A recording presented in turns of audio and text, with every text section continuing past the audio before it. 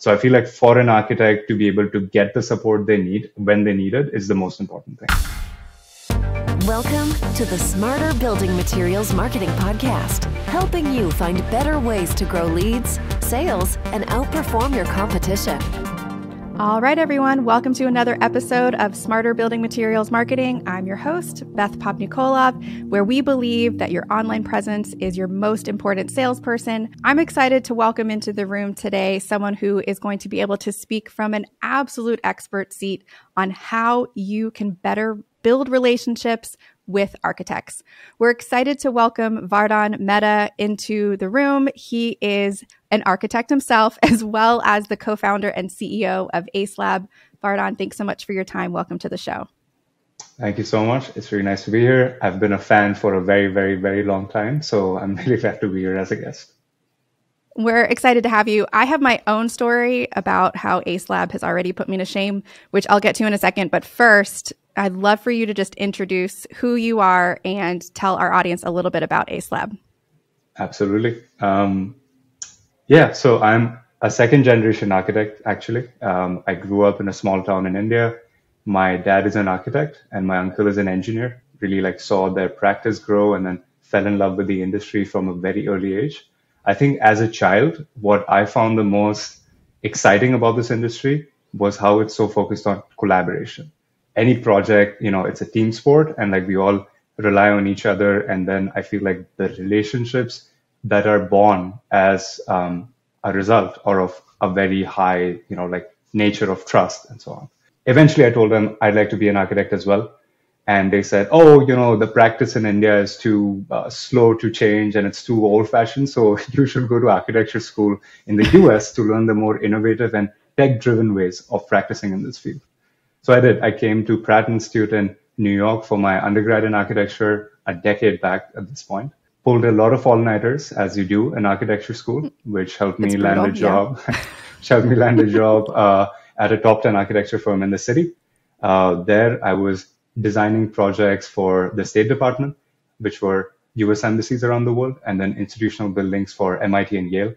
Um, during that time, as an entry level uh, or junior architect, um, I was tasked with a lot of the product research, specification, and selection. And I could not understand why it's so difficult and so time consuming to do that task as an architect. And, you know, I'm happy to double click on like why I feel like that is, but then that eventually led to the founding of Acelab when I started my grad school at Harvard about three years back. So when you founded Acelab, what was like the ultimate vision? Right. So so during my experience and practice, I think the three problems I ran into the most related to building products or like relationships with manufacturers were the following. I think the first was just a pure information overload. I feel like as an architect, you are expected to know something about everything, but I'm yet to find an architect who would claim to be an expert on everything about everything, especially in regards to building products just because that world is so vast and there's so much to learn and things keep changing all the time. The second one was I feel like as architects, we often wait until the later stages of a project to start engaging with or speaking to product manufacturers. And I saw that a lot of times at my firm, and then I was hearing the same thing from my friends at other firms in the city that at that point in the project, you're already, you have your back against a deadline and you're so rushed that you don't really have the time you need to actually invest in a product research or to wrap your head around a new product. As a result, we often end up recycling specs from past projects, which end up being the firm favorites just out of pure convenience. It's not the best product that we could find, but we just wanted something we know how to draw or we know how to render. And that's why we end up choosing that product. And the third one, I think, is related to access. I feel a lot of times, you know, every architecture firm has their Rolodex of trusted advisors or product experts. But of course, you know, you can't know all the product experts from all the manufacturers out there. So oftentimes I felt like, you know, instead of trying to reach a manufacturer, just because I feel as an architect, if you try to dial the 800 generic number from a manufacturer's website, it very rarely leads you to the right product expert for your location. And as mm-hmm. we know, architecture mm-hmm. is very location specific. So if you're doing a project in New York, you need to be speaking to a rep who's in the city who understands the code, the compliance, not somebody in LA. And I think like these are the things that like led me to to believe that there's a huge opportunity and like a lot of value here for both an architect and a manufacturer to start that collaboration in the earliest stages of a project, like schematic design or design development. And that's where we founded AceLab. The goal was for it to be a visual product selection platform where architects are able to discover, organize, and collaborate on product specs all in the same place. Um, so we launched this in May last year. So I can just speak a little to the success that AceLab has seen because we were chatting on LinkedIn back and forth a little bit because we saw what AceLab was doing and we're excited to have you guys on the podcast. And then you and I met in person and at, at, um, at the Wizard Summit, and I was doing social media audits and putting together the presentation for all of the people that were there. I was going through, and typically, because it's a room full of manufacturers mostly, uh, a lot of what I say is like, hey, you know, here's ways that you can improve, or here's some best practices that you're missing out on.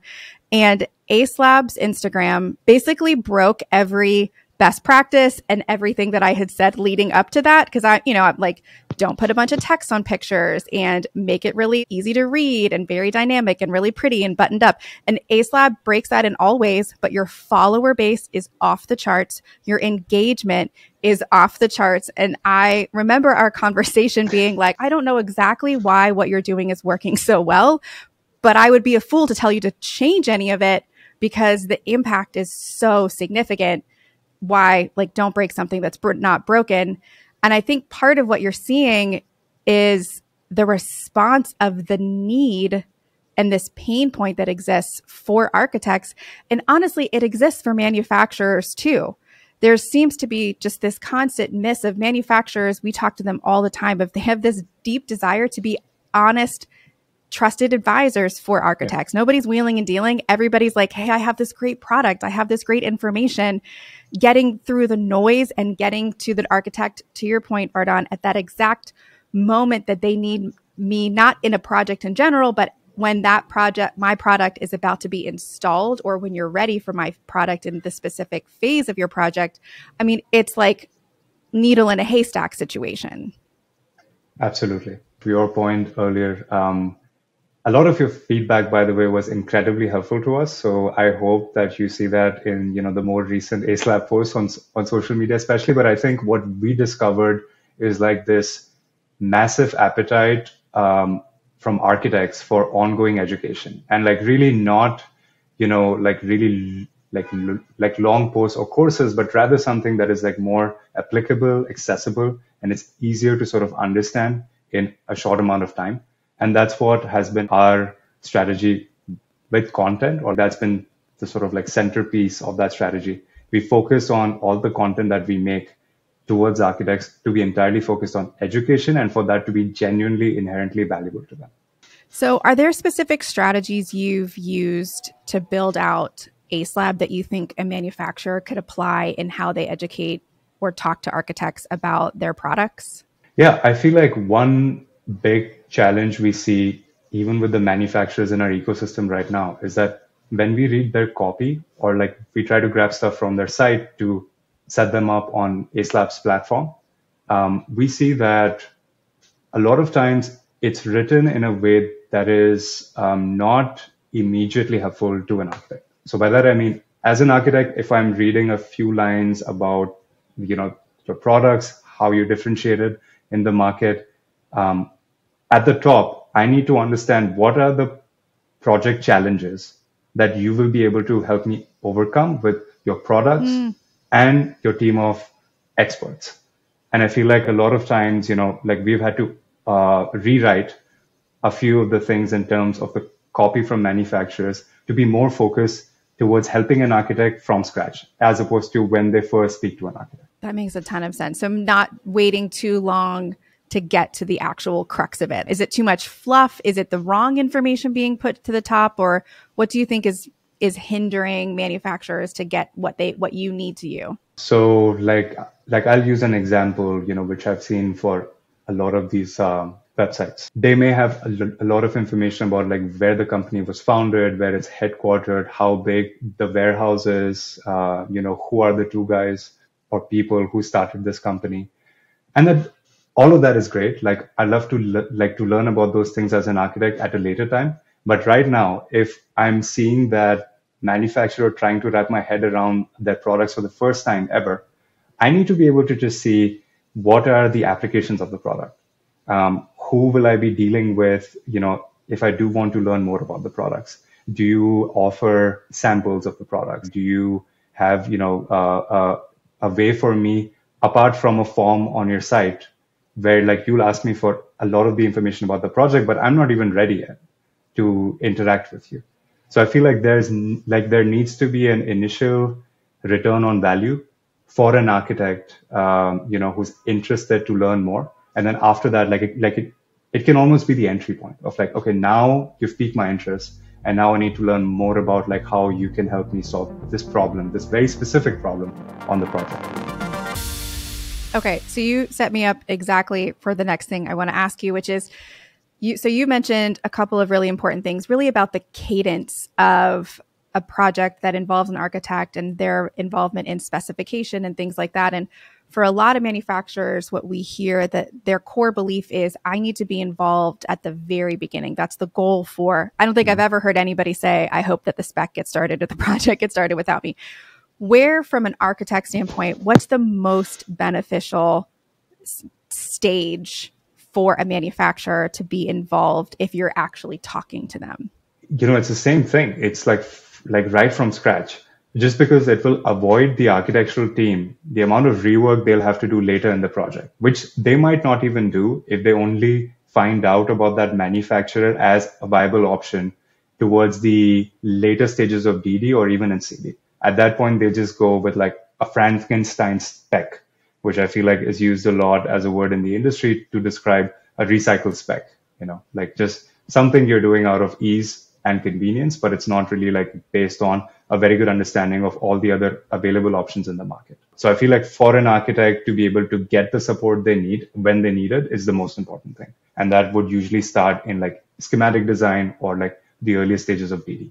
So that begs the question, how do we do it? How do manufacturers break through the noise and get an architect to stop and talk to them instead of just going to the default of using the Frankenstein spec because they have to solve so many other things for a given project? So I'll answer this in two parts if that's okay. So, you know, with AceLab, it's really like three important features in our entire like tool set which help an architect uh, utilize AceLab for the scope of the project in terms of the product research it's required and the products they end up selecting on the project.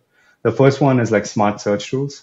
Um, information is everywhere and anywhere. And I feel like as an architect, if you have to go from like five to six different sites to just find the data attributes or the technical specs you need, it's a huge headache. So like we've built smart search tools which easily help an architect understand who are the right, the shortlist of the manufacturers who might actually be in the sweet spot for the requirements of the project. The second one is a project workspace. Oftentimes, like I ha- like I used to do this all the time. Like have a post-it note of a technical spec with the name of a manufacturer on my screen at the office. Um, and then you have to like make sense of all of that like scattered information at some point during the project, which is not very enjoyable when you don't have it like recorded in the same place. So with a, a project workspace, any architect or an architectural team is able to save these products on the platform. And the third one is a collaboration portal with which architects are able to reach out to manufacturers when they want to. So instead of a manufacturer having to cold call or cold email architects, and it, it may not even be the right architects. Like I feel like not all the architects in the US are, you know, in the target audience for every manufacturer in the US. And so for them to focus on that niche of architects and identify them and help them at the right time in the project, which ideally is in the early stages of design, we've built this portal where an architect is easily able to reach out to the manufacturer. They upload project details on the platform, so they don't have to repeat the same information with five different manufacturers. And it makes this exchange of information or knowledge very, very efficient. Now, to go over to the other side, I will share some insights from like what I've learned or heard from from manufacturers so far. I think like one very effective way to build relationships with architecture firms is through um, lunch and learns. But that I honestly feel like it's a double-edged sword because if you go to an architecture firm with 50 architects and the incentive, just the way it's presented, is a free lunch. So you will have some architects who are not that interested in your spiel. It may be like, you know, that like you're really, really into your products and you're able to sort of like speak to them in like from, you know, the, the vantage point of an expert, but some architects won't be interested. The other thing is you, like you don't know always if the firm even has a project that's active that might be the right fit for your product's applications. And the third one, which I experience a lot as an entry level architect, is oftentimes I would see a manufacturer do a presentation where it piqued my interest, but I'm an entry level architect and my PM and the principal at the firm is also in the room. And I often felt like I didn't have the authority to be able to discuss a project with them or to share any details about that project. So that's with lunch and learns. I think another thing, you know, with trade shows, I feel they're great. I really enjoy attending trade shows. I think like really heavily for its social value. I feel like it's a great place to see folks from the industry or to make new friends. I'm yet to meet a manufacturer who can explicitly tell me that they've had a huge ROI or, you know, they're able to track how many direct sales came from that one specific trade show. Um, and I think it's a huge investment. And I think the third one is just like with a few of the spec platforms or like lead databases, I think a lot of times you get like this like wrong, like really long spreadsheets with like a name of an architect and their email, maybe phone number, but like you don't really know if those architects like are in your sweet spot, if they'd be interested in your products, what type of projects they work on, and so on. So I feel like those are the things that I've heard um, from the other side. And I think for architects, you know, at the end of the day, it's a part of the job that is required. It's it's something we own, like having to do the product research. We're still seen as the influencers for that part of a project, but we just need um, easier access to the information on our terms. So not when you know it's the right time for a manufacturer, but like really when we need them and we need to speak to an expert, we expect that you know we will be able to find these resources in an efficient manner making it as easy as possible. Don't make me wade through your company history and a bunch of fluff, just getting to the people that can actually answer your questions. Right. right. Sounds sounds very easy. I can tell you from this side of the table. It's it's both definitely doable and sometimes it feels a little bit trickier, maybe even than it should. Yeah. Okay, I've got a couple more final questions for you. One is let's say I'm a manufacturer who's missed that, you know, key sweet spot of early stages. I'm not in the early stages, but you haven't installed my product yet or like the pro- my product category yet. You haven't gotten to my phase yet. Is there anything I can do to get in at that point and help you avoid the Frankenstein? But I would assume I have to make it as easy as the Frankenstein is going to be the key here. Is there anything to make that situation as painless as possible for an architect to ultimately win and I guess effectively flip the spec would be what that is? Right. And I feel it's a great time in history to be really focusing on that. I spoke to a few people who were at IBS and they told me that a lot of the conversations they were having with architects or builders there, instead of being heavily focused only on the product roadmap for the company or the value differentiators for the products, a lot of the conversations this year still were focused on supply chain, labor shortage, and so on. And I feel like like like we're also seeing that on AceLab where, you know, architects reach out to us all the time where they'll say the project is still in like later stages of DD or CD, and the architect will say, hey, we have a firm favorite for Windows, but unfortunately they're no longer an option because their lead times right now are 26 weeks. So we need to, you know, like like like we need to um, find an alternative who meets the technical specs and optionality from like a, a design standpoint, but with shorter lead times or just like more service or it's easier to install and so on. I do feel like I think like a like a really good opportunity there for manufacturers is to focus on those issues, especially in dealing with architects, just because I feel like you know with a project that's already delayed, oftentimes you need to find a solution as fast as you can, especially you know if if, if you can build that trust with the architects that you will also be able to support them with your team of experts right on that tail, you know, you mentioned two of the biggest pain points that we know our industry is experiencing supply chain, labor shortage. With everything that's happened and changed in the world over the last three years, is there anything, any new challenges you're seeing architects face that may not be on the radar for manufacturers? It may or may not be already on the radar, but I feel like at this point in time, architects are more interested and have more agency to implement healthier alternatives or mm, like really focus on sustainability. I feel like it's been around for a long time. We know about, you know, some trends in the industry, both good and bad, like related to sustainability. But I feel like at this point in time, architects finally have the agency where they can inform, you know, just like a switch of the firm standard. So if there's an architect and we're you know also seeing this a lot on Lab. Architects who've been like using spray foam insulation for the longest time, and finally it's a wake up call from a client who read an article about it somewhere, and they said, "Hey, for my project, no more." And plus, like you guys should really also change your firm standards for things like this. And I feel like that is finally happening. With you know, it's also I feel like the innovations in the marketplace, like we have all these great manufacturers who are trying to make products which are healthier alternatives or from ingredients which we have not really thought about as much in this industry and like that's that for me personally is really exciting to see yeah i would agree it's really exciting Vardhan, this has been great. I really appreciate your time. If any of our listeners have questions about what you're doing or about what Acelab is doing and they want to reach out, what's the best way for them to get in contact with you? You can reach out to me by email um, and then also through our site. Uh, like we're still, you know, we are an architectural technology startup. We've just launched the platform and we always appreciate feedback. So if there's something you'd like to to pitch as a feature that we should launch on the site in the near term. We'd love to hear your ideas, or there's just some other ideas you have, or you know some insights about your interactions with architects or design professionals. We'd love to hear those too. So yeah, please reach out. Well, for our listeners, if you want more great content like this, head to venveo.com slash podcast to subscribe. Until next time, I'm Beth Popnikolov. Thanks, everyone.